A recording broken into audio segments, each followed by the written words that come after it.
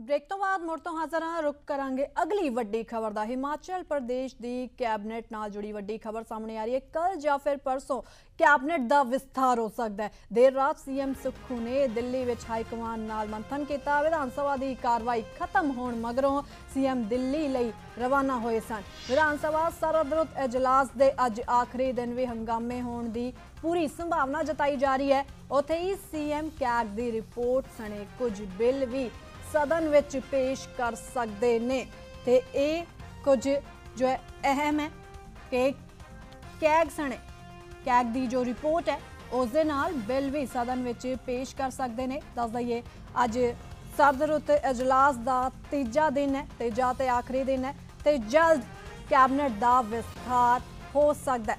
ਸਾਡੇ ਨਾਲ ਸਾਡੇ ਸਹਿਯੋਗੀ ਵਿਸ਼ਾਲੀ ਜੁੜ ਗਏ ਨੇ। ਵਿਸ਼ਾਲੀ, ਇਸ ਤਰ੍ਹਾਂ ਸੈਸ਼ਨ ਦੇ ਵਿਚਾਲੇ ਸੀਐਮ ਸੁਖਵਿੰਦਰ ਸਿੰਘ ਸੁੱਖੂ ਦਾ ਦਿੱਲੀ ਦੌਰਾ।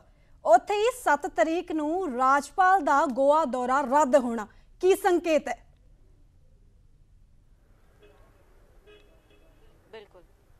बिल्कुल आप बिल्कुल सही अ, समझ रही हैं। जो सुबह की अपडेट आ रही वो वाकई एक से मतलब सुबह से लगातार आज जो अपडेट्स आई हैं वो वाकई चौंकाने वाली हैं। एक तरफ़ कल एकदम से सीएम का निकल जाना देर रात तक अ, दिल्ली में गहन मंथन होना कैबिनेट के अ, गठन पर और आज ये कहा जा रहा है कि कल या परसों कैबिनेट का गठन भी हो जाएगा।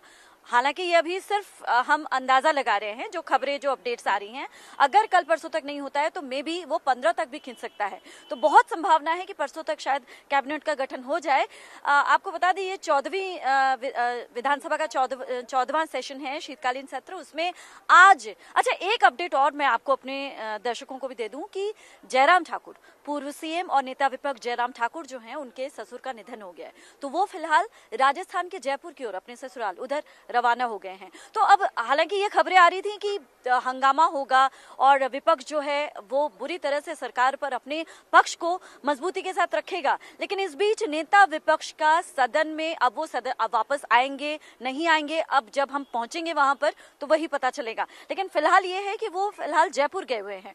तो क्या सिनेरियो आगे होगा? और जिस तरह से सुबह तक खबर थी कि विपक्ष जो है, वो अपने मुद्दों को लेकर पूरी तरह से सरकार पर हावी होने की कोशिश करेगा, अब वो कहाँ तक? क्योंकि नेता विपक्ष अगर नहीं होता, अगर नहीं होते आज तो फिर किस तरह से चीज़ें आगे बढ़ेंगी वो देखना वाकई लाजमी होगा। लेकिन इस बीच जो चीज़ होनी है, वो ये होनी है कि सीएम जो है वो कैग की रिपोर्ट पेश करेंगे। कुछ महत्वपूर्ण बिल जो हैं, आज पास किए जा सकते हैं, जिसमें है एफ़ आर बी एम ये एक अहम बिल है, जिस पर चर्चा आज सदन में होगी और इसके बाद माल और सेवा कर संशोधन यानी अमेंडमेंट विधेयक 2023 पर भी आज चर्चा होगी। कुछ महत्वपूर्ण विधेयक पास होंगे उस पर चर्चा होनी है क्या की रिपोर्ट पेश होनी है। विपक्ष जो है वो अ, हंगामे के लिए पूरी तरह से तैयार है अपने मुद्दों को रखने के लिए तैयार है।